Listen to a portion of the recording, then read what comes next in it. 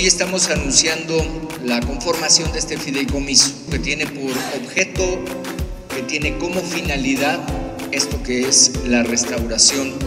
de nuestro patrimonio cultural representado en el Poliforum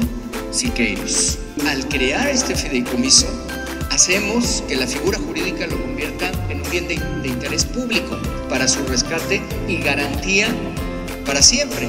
Hoy estamos sentando las bases de lo que será esta plaza pública, como hoy estamos presentando lo que será esta nueva vista, esta nueva imagen y por supuesto este rescate garantizado por el gobierno de la Ciudad de México y por supuesto por la parte más importante que es por la sociedad civil.